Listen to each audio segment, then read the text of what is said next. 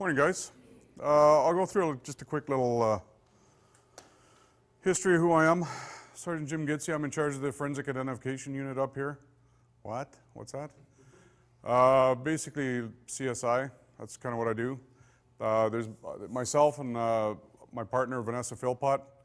Uh, we cover the entire Yukon. Uh, right now, my partner's in uh, Alberta teaching a fire death investigation course, so it's just me for the whole entire Yukon right now. Anyways, so I've been all over, uh, starting in Saskatchewan, a couple years in Regina Detachment. Then I went to the Lower Mainland, Coquitlam, and then Fort Nelson, and then since 2002, I've been here uh, in the Forensic Identification Unit, and uh, I've been in charge since uh, about five, six years now. Um, married 30, for 30 years now. My wife's a teacher here in town. I plan, we're both from Regina, but I plan on staying here. Two kids. There's a few familiar faces I've I see in here. So we've obviously uh, interacted at scenes before. You guys are from all over the territory, right? Yeah. That's right. So no doubt we've crossed paths. Um, I will say right now that if uh, uh, when we get to a scene, um, lots of times uh, we're focused on stuff. So if we don't say hi or whatever when we're there, and I mean we're all there to do a job, we're all there as a team. But lots of times when we come to a scene, we're very focused. We got a job to do, so we get into kind of a game game face, game kind of situation. So if we don't say hi, we're not trying to be rude or elitist or anything like that. It's just because we're kind of in the moment. So what we do is we uh, provide frontline support to the GD guys. Uh, last night, 10:30, I got called out for uh, something, so I got home this morning at four. So um, if I talk too fast or if I don't make any sense, just somebody come up here and hit me in the head and hit reset. You want a coffee? I just had one. Yeah, thanks. So what we do basically is we, we get called out by, uh, as it says, um, frontline policing for, for anything from break and enters all the way up to homicides and everything in between. We are also agents for Transport Safety Board, so plane crash happens, helicopter goes down. Uh, like I went to that helicopter crash up on Nares Mountain with the bear biologist there. Nothing more disconcerting than flying to a helicopter crash in a helicopter. It's kind of like, so.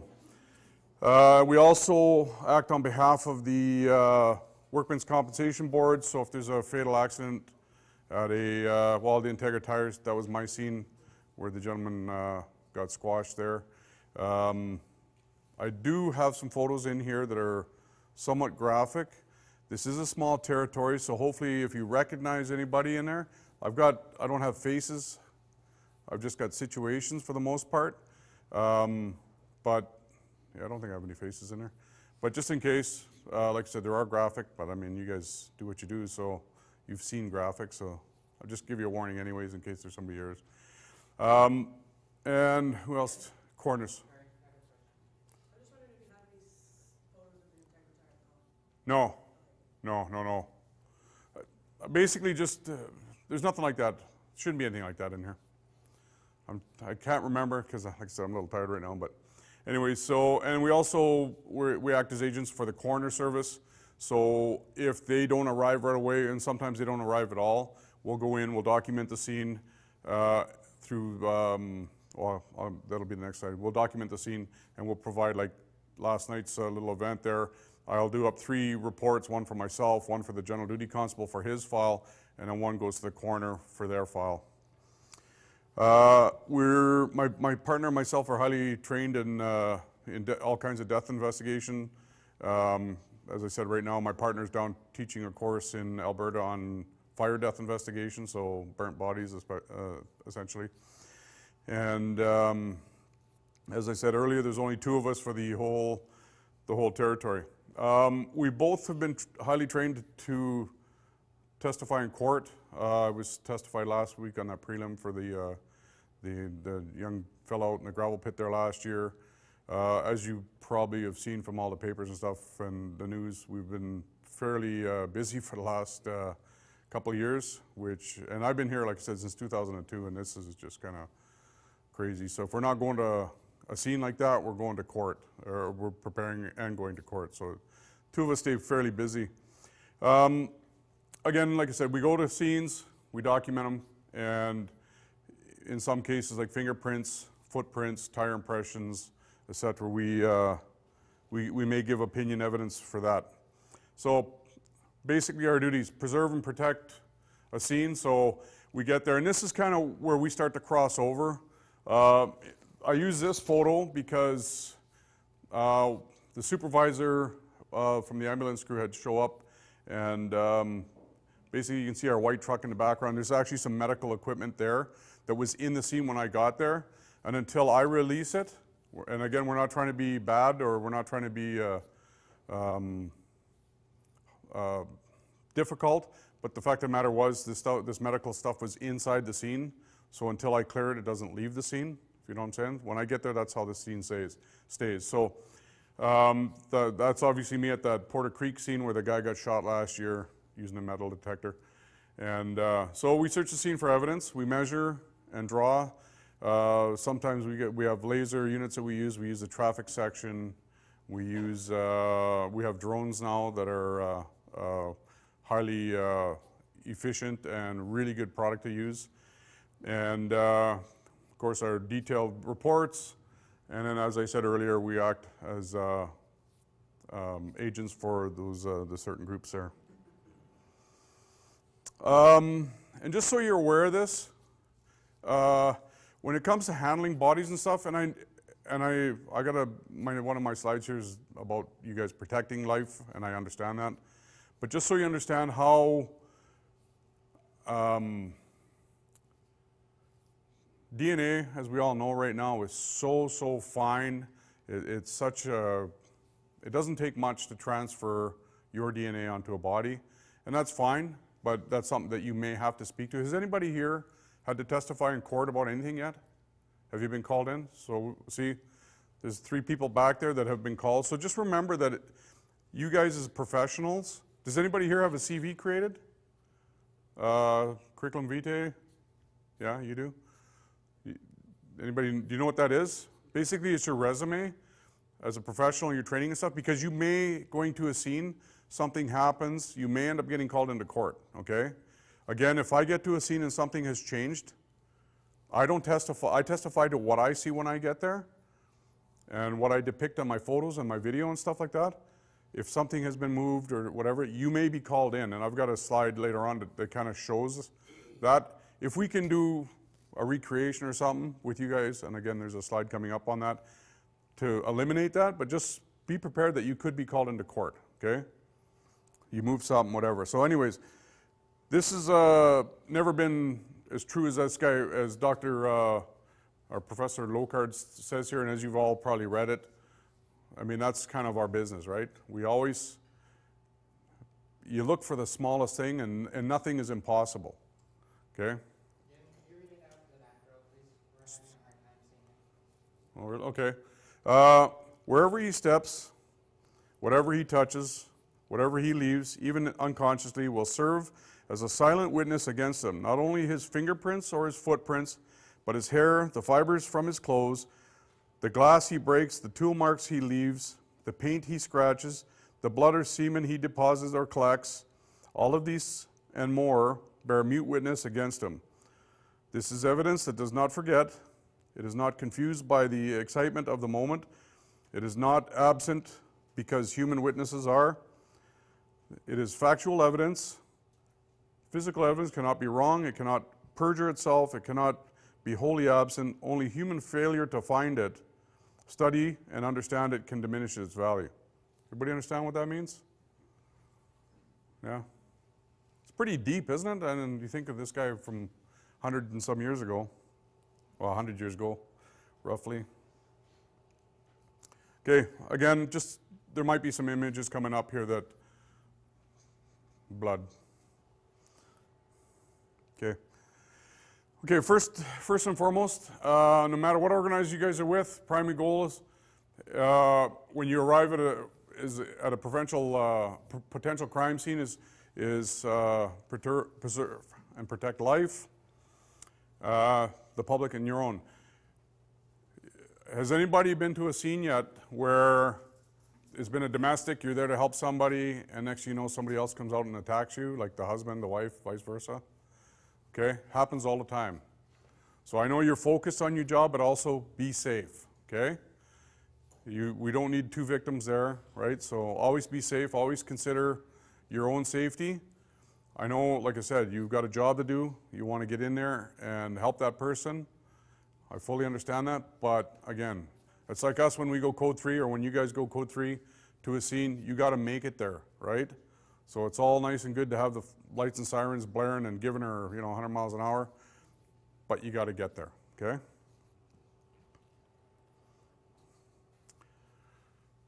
Okay. I know I, found some nice pictures. It's, yeah. So again, you know, you get you get like I said when I get to a scene, it's kind of game on, right? So just you know, you're uh, you get the call. Okay, you get a you got a rough idea what it might be. Uh, you know, you, the mechanics of how the victim is injured may be evident when you get the or when, when the call comes in. I always find when I get a call that it sounds like it's up here, but when I get there, it's about here, and you probably get the same thing.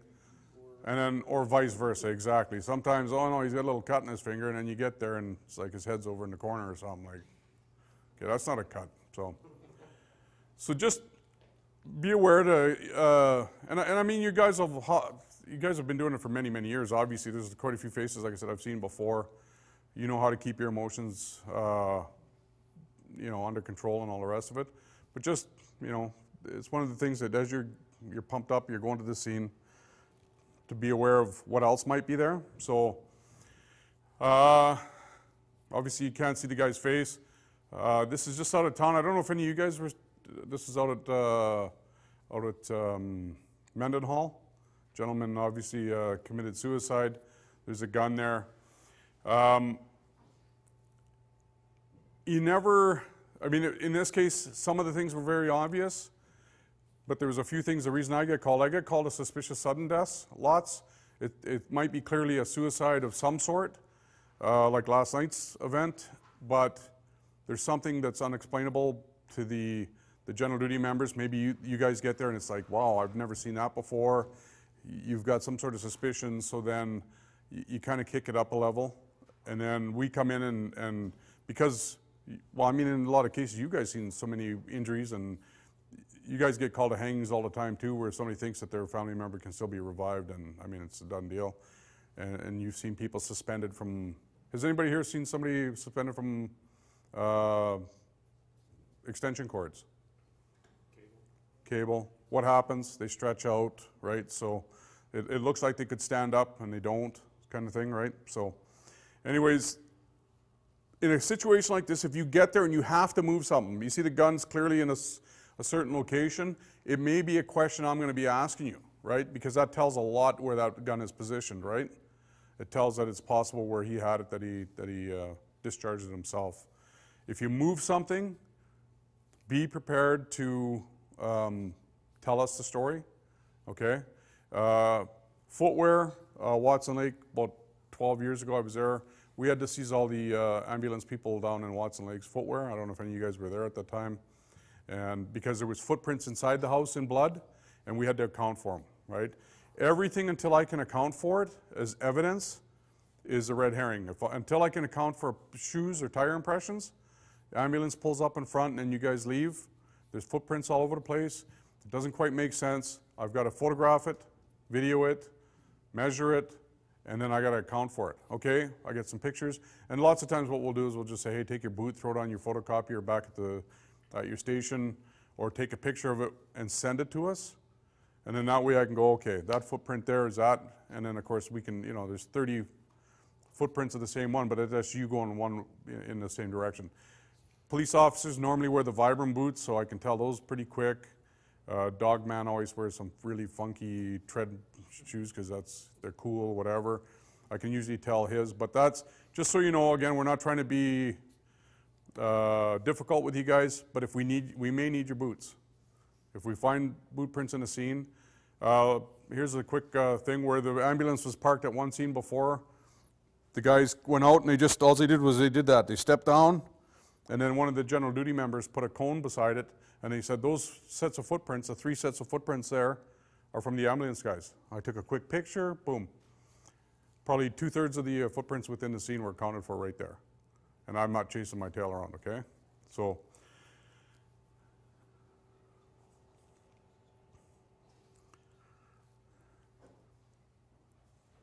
so when I get called, it's because it's possibly a crime scene. Anything you guys get called to, a hanging, a possible suicide, a spousal assault where somebody bleeds out later or the injury takes them later, you got to remember at some point. Oops. At some point that might be, or it could be a crime scene right at that time, right? So, uh, and for us, that scene and that body are the most important things. Um, whether it's at the scene or whether it's at the uh, at the hospital. Uh, the most recent one, uh, we had that stabbing and not too far from here. Um, I spent a good hour and some documenting the body at the scene or at the hospital, and and then trying to make things fit with at the scene. Not trying to make them fit, but putting the puzzle together, right? So we document her first at the because that's where she was. And then we went to the scene. Okay, that makes sense. That makes sense. Document everything. And then I went down for the autopsy. Um, many times, myself or my partner Vanessa will on on these uh, on the homicide cases or the ones that we haven't proven. Like we may hold a scene. We go into a scene. We don't know what it is. It's not something's not fitting. We will often hold a scene, and it may be held for a couple of days until the autopsy comes back, and it's like, okay, well, it's natural because of this, or it's natural because of that, and then we'll release it. But until that happens, and like I said, typically because we have scene knowledge, we will we will also go down and document the uh, the autopsy. Has anybody here ever been to an autopsy, seen one? You have, yeah. I mean, you've dealt with bodies enough. I mean, it is. Uh, I don't want to sound cold. It is kind of cool to see how how it's done. Um, again, it's part of the job. I mean, we've been doing it long enough. Some of that stuff is like, wow, you know. And then you get to see bullet paths or knife wounds and how they make sense, how the, you know, injuries. Um, at that scene just recently um, in in Riverdale here, um, a knife was picked up by the ambulance crew. Okay. Right away, I kind of like, what? What? What's he doing picking up that knife? And the, the knife was turned out to be the, the weapon that was used. And at first, it was like you don't touch, and that's part of the reason I'm here today. I mean, not part of it. I mean, that's this helps you, this helps us, right? Um, but it made perfect sense after was once he picked up the knife. I mean, it, he could have looked at it right where it was because I, th- I thought where, where it was sitting, it was fine that you could judge how long it was. But it made perfect sense when he picked it up to, to be able to, what kind of treatment, what kind of wound, how deep could that wound be? Well, once you see the knife, I mean, then, then that kind of helps. So it, I give them a little leeway. Always, if you have to pick something up, and I know you guys are wearing because of personal protection, you're always wearing gloves, double gloves, whatever. You know, you're always wearing something, uh, some sort of protective glasses, whatever you may have to wear. Make sure uh, that that's uh, something that you, you don't even think twice about. You're always wearing that stuff, especially if you have to pick up some, uh, um, something like a, move something out of the way, a gun or uh, a knife or something, okay? Again, that's uh, that scene that you guys are at, and when we get there, that's our starting point. Okay, so just be just be aware of that. When you guys pull up, and I know again you're focused on dealing with this, the the the patient, but also be aware for your own safety. Just kind of make a mental note as you pull up to a scene. You know, you can see footprints there. There's no there's no uh, tire tracks. There's nothing really that's going to hurt you there. What does it look like it should? If something's out of place, before you rush in, make sure that you're you're safe. And I, again, this is probably something you guys do in your in your training anyways. But I'm just kind of re- reiterating it just so you know it's in all our it's in all our jobs, guys. Okay, uh, this is a Watson Lake situation. Now, just past the tree there, you can. Um, I don't have a pointer. Right, you can see a little object laying right there. that's a gentleman that uh, decided he didn't want to be on the planet anymore, so he shot himself. And when you look at this scene here, what do you see? What, what looks. Let me add a little bit more information. A general duty constable, the coroner, and I believe one EHS person was to that body and back. What'd you say? A single trail going in. So I'm called because it's suspicious. If, if it is suspicious and there's, uh, and that's suspect footwear, they're gone, right? And, well, why didn't you walk beside the trail? Well, because we didn't want to get our pants or boots dirty, whatever.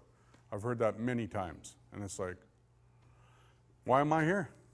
You know, like you've just wrecked most of the, uh, the um, possible evidence there. So just be aware of stuff like that. I mean, you, there's nothing else around. It's a you know foot and a half deep of snow, and you see Buddy laying out there. Uh, I don't think you could see the gun until you got beside him because it was beside him, and he'd been there a few days. But just be aware of that kind of thing. Scene approaches is uh, is quite a bit. Again, I know that you're there to protect and save lives, but just kind of be aware of that. So that's the scene, potential hazards, again, to you and, and obviously the victim, so you're going to be doing that. Uh, again, moving stuff, touching stuff, if you don't have to, if it's off on the side, there's your, uh, we have what's called a path of contamination. Somebody breaks in that door, this, this um, projector's stolen and the computer's stolen. What's my path of contamination going to be? That door to here and then gone. Bad guys aren't going to spend a lot of time at a scene. They want to get in, they want to get out. So if that's what this is, if, if it's a, at a break and enter or something, or if it's a, an H file, something goes down, if there's not a big fight in the house, they're in, they're gone, right? Okay? So just be aware of that if you can avoid that path of contamination. In the, in the situation where I showed you that last slide where you saw the footprints, that's the path of contamination. So if you can avoid it, please do so. and again, natural entry points. If it's if you go in and it's like, oh no, well I know this guy's dead. There's nothing. Try to walk away in a different way than you can. Like go along the outside, like walk around the edge when you leave, type thing. Again, that just uh, accounts or removes any extra footwear and stuff that I'm going to have to deal with. Um, it just it helps us. Again, I, it just this is all stuff. It may not stick. If it sticks, great. It helps us and it helps you guys, right?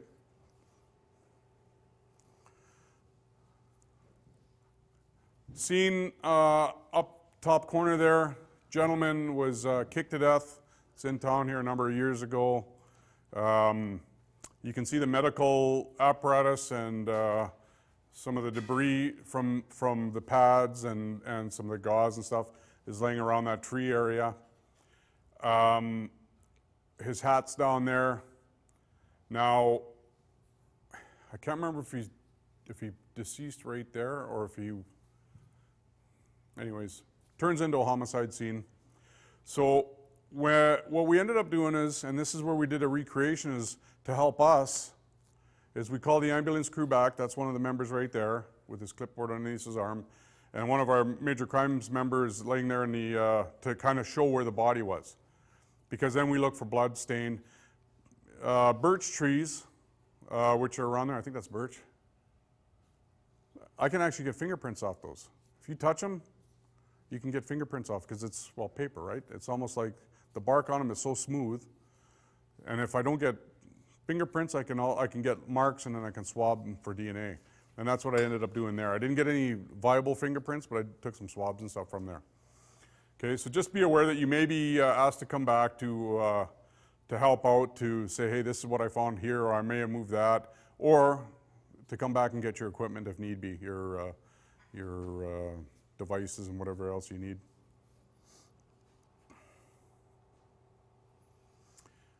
This is probably one of the biggest things, guys, right here. So pay attention to this big time. Clothing, and we understand that you have, you know, you got to get to the wound, you got to stop the bleeding, but we've had people with bullet wounds where, where the EHS people, so a bullet wound or a stab wound here, hey, I got a hole there, stick the uh, scissors in, cut up, cut down, off they go. Don't do that, okay? If you see an obvious wound port, you know, a hole, you know, a, a, anything that is wasn't there naturally, then don't cut through it if you can. Okay, cut around it because you're, you're destroying evidence. And when we get it, lots of times we haven't talked to you because we're focused. We do we deal with the scene. The major crimes guys may talk to you guys, and then we're trying to how'd this happen. In this case, Buddy, there. Um, this is a Sinclair one up on the hill, where Buddy was stabbed numerous times, and so he's got many holes. But um, that was a white T-shirt, obviously not anymore. And um, again, I'm trying to explain is some of it from EHS trying to remove the clothing to provide medical treatment, or is it something caused from the weapon? Okay, so be very aware of that if you can. I understand, again, preserve and protect life. I fully understand that. And if you have to cut through, then you have to. But make a mental note what you saw, okay? Because if you get if you cut through it, and I know you don't have time to whip out a camera and all the rest of it to do that. That's not what we're expecting here. But make a mental note because you may be asked, and you know you saw a two-inch, you know, two-inch uh, stab, uh, a hole in the shirt right here, and you had to cut through it. Just make sure you're able to tell us that. Okay. Always be uh, always be uh, cognizant of that kind of stuff. This is something that we get called to quite a bit. Young lady here in town many, many years ago, um, again, decided that life wasn't worth living anymore and she hung herself. Uh, when you get to um, these kind of scenes, and I know lots of you guys have been to scenes where somebody's hung themselves and the family still thinks that they can be saved, you know, they think it just happened, or in some cases, maybe it just did happen. If you can, try not to cut through knots. If you can cut through partway, like if it's a wire or whatever, try not to cut through the knots because the knots are evidence. Knots can be used to tell if the person tied it themselves or if they were suspended by somebody. We have experts that, that uh, in knots. So if you can, and again, this is, you, you might get to one of these scenes and you'll cut right to it. Who knows? But this is just something to be aware of. Be cognizant of this kind of thing. Um, we were called because it was suspicious. The coroner at the time, he was a junior person, hadn't done it, did not think that a person could hang themselves like this because they could have simply just stood up. Right? Guys, if somebody wants to kill themselves, they're going to kill themselves. Okay? Um, it doesn't matter if it's like that. We've been called to. Uh, extension cord where Buddy's sitting on the floor and the extension cord went over the door and he says, well, how, why is he dead? Well, it's, it's simple. The, the cords st stretch out, right? And uh, next thing you know, they could be hanging himself from a bridge and standing on the ground. I had that happen to me in Vancouver once where I get there and, and I'm talking to one of the uh, other constables there and, well, where's the victim? Because I can see my trainer standing over on the side who I think he's talking to somebody. He's got his notebook out and I think he's talking to a witness. Well, it turns out that was the victim, hung himself from a cord and and basically it had stretched to a point where he was on the ground like this. So underneath a bridge, I couldn't tell that he had an extension cord around his neck. And so it's possible for that stuff to happen. So just be aware of that. Try not to cut through knots if you can, okay?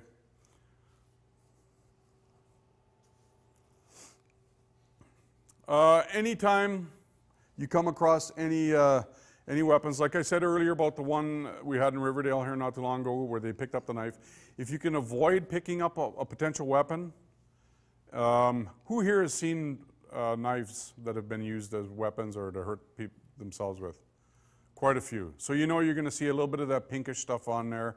You're usually going to see grease on there from the fat, you know, depending on what they cut, if they tried their wrists or if they, you know, it's an assault or something.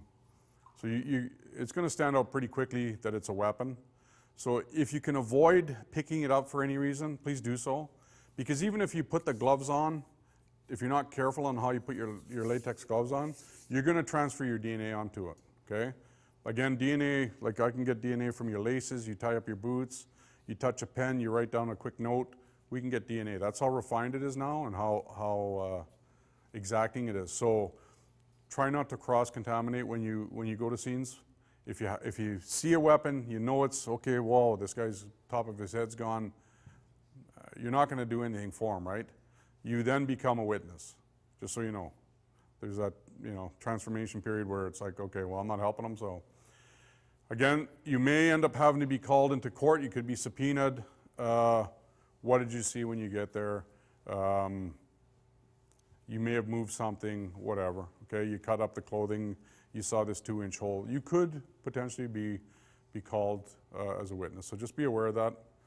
Um, It took me probably six months from when I went from general duty highway patrol to when I became a forensic identification specialist to write my reports um, a different way. And what I mean by a different way is before, I'm trying to prove mens rea and actus rea, so the, the elements of the offense, reasonable doubt, all the rest of it, right?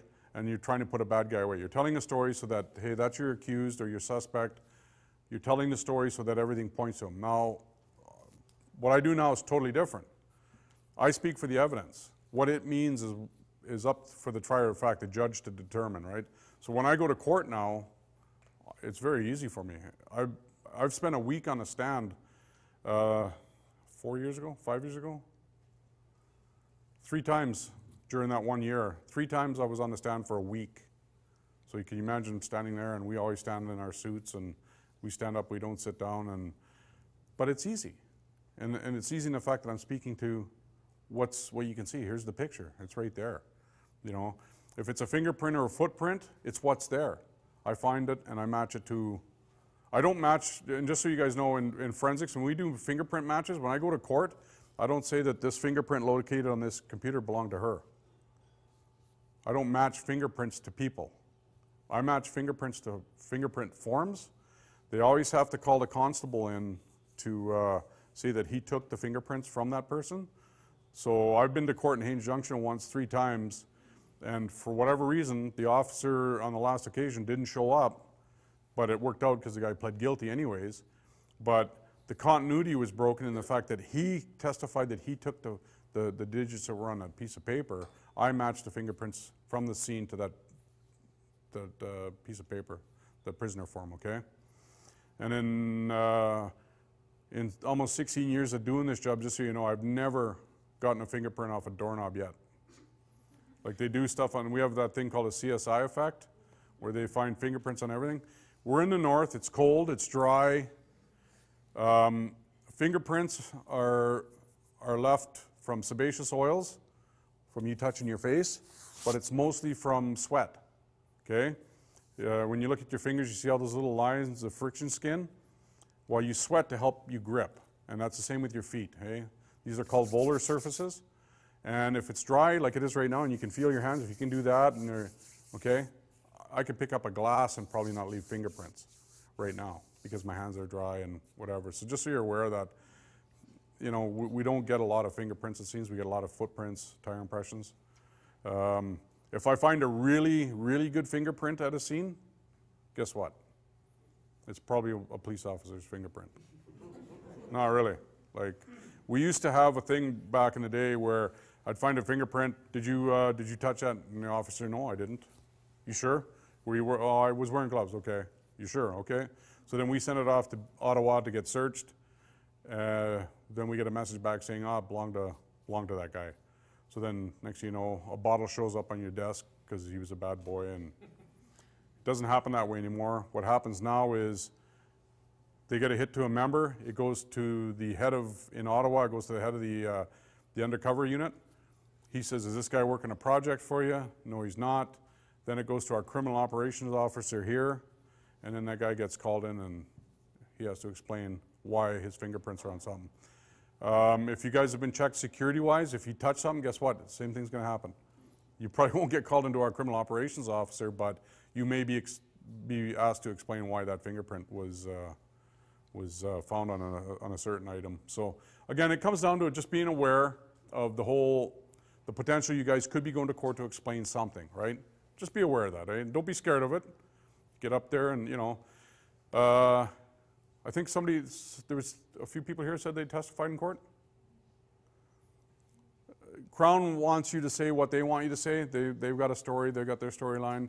Defense will come at you and they'll throw some of the wildest stuff at you just, uh, or they'll keep asking. I had one time, uh, the same question was asked four times, exact same question. It was actually an Integra Tire file, and it was um, a member uh, brought, brought in uh, a memory stick and wanted a copy of the video from, the, from Integra Tire put onto, that, uh, onto a DVD. So I basically, okay, here, stuck it in, copy on, on your computer, and then I put it on the disc and I give him, here you go, here's your stick, here's your mem- uh, here's your uh, the DVD, and he left. And I was asked four times, and I, I think what happened was the defense was trying to there was trying to say that there was a clip piece of the video that was missing. But by the end of it, I, I was starting to become not professional, and the fact that I was I kind of said, I think the very last time I said, look, I took the stick and I stuck it into the computer. And I tried to talk to him like I was talking to a five year old, which, you know what, I, I felt kind of somewhat bad after, but it just, it, that's what they're going to do. They're going to play games. So just be aware that defense lawyers will try to trick you up. If they're asking you a question, they know the answer already. So if that ever happens, just be aware of that, right? Uh, again, I mentioned it earlier. If you get to a scene and it's cold, you want you close a window, you close a door, whatever. When I get to a scene, I document the scene as I find it.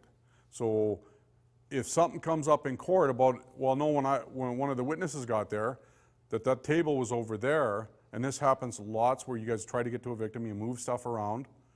A witness might bring it up and say, when I got there, this was there, and and well, how come it's not like that, Sergeant? Well, I don't know. Did you, did you talk to witnesses? That's how I found it when I got there. So if you have to move something or move, roll somebody over, whatever, again, if, if you're not explaining it to us, so we can explain it to the courts, you might get, get called, okay? So just be aware of that as well. And again, there's a, the whole footprint thing there. Um, we may need them, so if you have to open, do, move, whatever, make note of that. Make a note in your report that you had to move a table off the, the victim to get to him to treat him, that's fine. Uh, You're doing your job. But just remember, you may be asked that, okay? Uh, this is just basic stuff. You're treating somebody, you know, uh, a family member or, you know, a drunken friend or whatever, uh, you know, wants to get in, keep them back, okay? Again, it's just compounding the situation. If you guys are there before the police get there, which is probably typical on a, on a, on an injury where it's, where you guys are called by a family member, hey, I need help. They don't usually call us first, they call you guys first because they want that person to get help right away. So just be aware that uh, you want to keep people away from the body if possible. Um, we recently had a number of issues with uh, baby deaths and family members, and it's kind of a really sore spot right now. The, the Yukon Coroners Act is being rewritten and it's going to be done this fall about touching bodies and stuff like that. You know, we're not trying to be cold hearted when it comes to babies and stuff, but um, it happens where, look, now that if we're called, the police, major crimes are called, the forensic guidance called, we got a problem, it's suspicious, and then family members want to, you know, pick up and touch. Well, when they're doing that, they can create artifacts, they can create injuries that weren't there before. So that's the one thing you got to be aware of. You know, wait for us to get there, and then if we're going to let somebody be hands-on, touch the baby, whatever, then we're going to, uh, we'll let them do that. So it's just, again, it's it's the old trying to reduce the cross contamination. Okay. These are just simple things, guys. You know, if you have to wait around at a scene, in the immediate scene, never do any of these things. Again, you're you're potentially leaving. And the only reason I bring this stuff up is some of this stuff here has been done by police officers within scenes, right? Gone potty in the scene, you know, went over to the side by a tree, and it's like, okay, is this suspect or whatever? And they don't say anything until you know three days later when you've worked, spent many hours trying to explain why that's there, and they they were embarrassed, you know. Be reasonable, get outside the scene. Uh, leaving the equipment behind, if you can take it with you, like I said, the, the one in Porter Creek there, there was, I don't know if it was a big defibrillator. Was that? Modern defibrillator, yeah. Yeah. Was that you that was that came? Uh, no. Because a super, big supervisor rig came up and I just saw the stripes, so I figured maybe. Yeah. Anyways, yeah, okay, that's, you know, if you can take it with you first instance, please do so. Because if you have to come back for it, once that, once that scene's locked down, it's locked down, you're not gonna get it back. Okay? Well, not get it back right away, until we doc, take a couple quick photos of it, make a note where it is, maybe a quick measurement, then we'll release it, that's fine. So, again, this is just simple stuff, guys. If you can, when you're pulling up to a scene, you know, and you see something that looks wrong, try not to drive over other, you know, go off the uh, beaten path when it comes to uh, uh, tire tracks and stuff like that. Again, I know you're going to be in a hurry, but if, if you know, if you think about it. Again, yeah, no matter how small your efforts are when you when you guys are at a scene, you know, it's going to help us greatly. It's going to help us keep keep uh, keep our things moving along very steadily instead of having to answer more questions about stuff. Um, you know what? I throw this in just cause uh, we all see horrific, horrific things, and I imagine you guys have, uh, you know, the whole PTSD thing. And uh, do you guys? Four years ago, the RCMP um, brought in policy. So forensic identity specialists, ER, ERT team members, the dogmen have to have a, a physical every year. And the reason we do is because we deal with chemicals, doing fingerprints and stuff like that. We deal with blood and all that other stuff. So every year we have to have a physical, a full physical. And as part of that now, starting four years ago, we also sit down with a psychologist and they have a, a sheet that they ask us questions from just to make sure, as one of my colleagues uh, from Vancouver uh, says, that my cheese have, hasn't slipped off my cracker yet. And, uh, and Diane has been to Rwanda, she's been to the tsunami, uh, she's been to all kinds of stuff, and I don't know how her cheese is uh, still firmly affixed to her cracker, but uh, that's something we do. So I imagine, I mean, uh, you guys obviously have something programmed. You know, your friends, your your partners, your whatever. If you see something going on that's not quite right, something out of the normal, bring it up to that person or bring it up to the supervisor. Let them know just in case, right?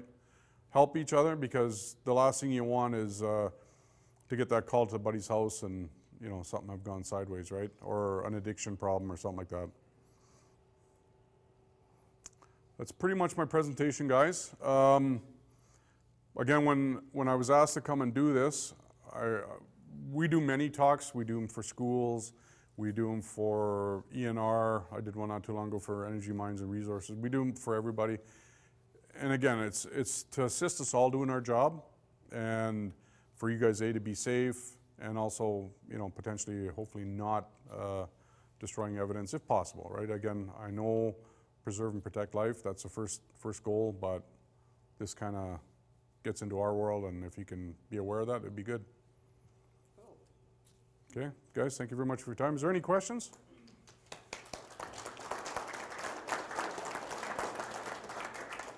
Yes? Um, back to clothing, if there was a stab or a gunshot, um, what would be the best way, I understand cutting not into where the hole would be.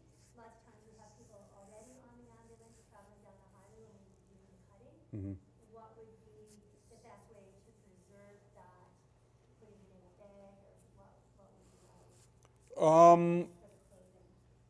Yeah, it would be, yeah, put it into, you know, I mean, plastic bag, because you don't want to get biologicals all over the place, right, leaking everywhere. So um, if clearly you can see something in there, it is going to be evidence. So yeah, a plastic bag is fine for now. Like I said, try to avoid any of the wound holes if you can, again, because that's evidence. Uh, and then, yeah, into a bag, and then just turn it over to the first police officer you see. Okay? Anybody else? I just want to say that I found it informative for the simple fact that I had a uh, shotgun suicide a few years ago. And, um, myself and my responding crew member Canadian Rangers, so we cleared the rifle and, and moved it out of the way. And the coroner slapped our wrists over that one. But I didn't know, didn't know to ask that question. So I appreciate you coming in and, and explaining it to us. Um, it's easier to learn it situation or surroundings than this.